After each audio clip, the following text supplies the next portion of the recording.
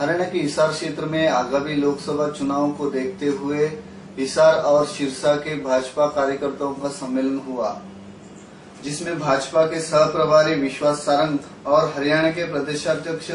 सुभाष बसला के साथ साथ कई वरिष्ठ नेता और कार्यकर्ता शामिल हुए, जिसके केंद्र की मोदी सरकार में आप नीतियों के बारे में कार्यकर्ता घर घर जाकर, मेरा घर भाजपा का घर अभियान चलाएँगे। और राष्ट्रीय अध्यक्ष अमित शाह एवं प्रधानमंत्री नरेंद्र मोदी जी की जन्म की तैयारियों के बारे में कार्यकर्ताओं को निर्देश दिया गया। पेश है हमारे हिसार के संवाददाता आज़ाद सिंह की खास रिपोर्ट। और इसमें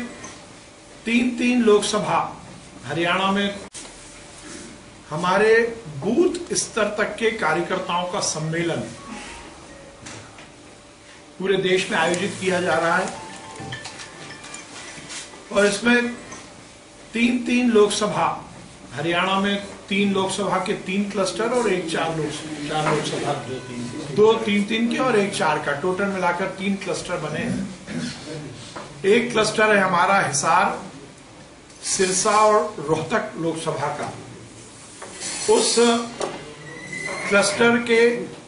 बूथ स्तर के कार्यकर्ताओं के सम्मेलन को संबोधित करने, हमारे राष्ट्रीय अध्यक्ष अमित शाह जी 25 तारीख को हिसार पहुँच रहे हैं। वो हमारे नीचे तक के कार्यकर्ताओं को संबोधित करेंगे और इस बात का संकल्प दिलाएँगे कि हम हरियाणा की 10 लोकसभा जीते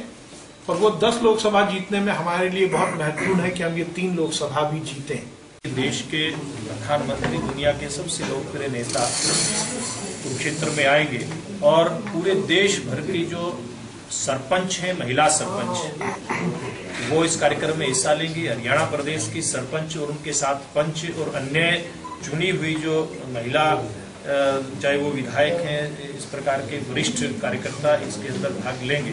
तो मैं समझता हूँ ये अपने आप में एक विशिष्ट प्रकार का कार्यक्रम देश के प्रधानमंत्री के द्वारा जो पूरे देश के अंदर किए जा रहे हैं, उन सब कार्यक्रमों से में से एक इस प्रकार का कार्यक्रम है। इसमें वो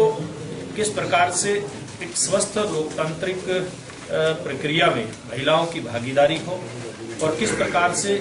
हमारी सरकार ने, चाहे वो हरियाणा की सरकार है, देश में मोदी जी की सरकार है, उसने महिला उत्थान के लिए काम किए, उनकी बात हो, और भिन्न भिन्न क्षेत्रों में काम करने वाली महिलाओं की बात हो उनको प्रोत्साहित करने के लिए इतना बड़ा कार्यक्रम कल जिनमें रखा। निश्चित रूप से इस कार्यक्रम के कारण से महिलाओं को अपने क्षेत्र में आगे बढ़ने की प्रेरणा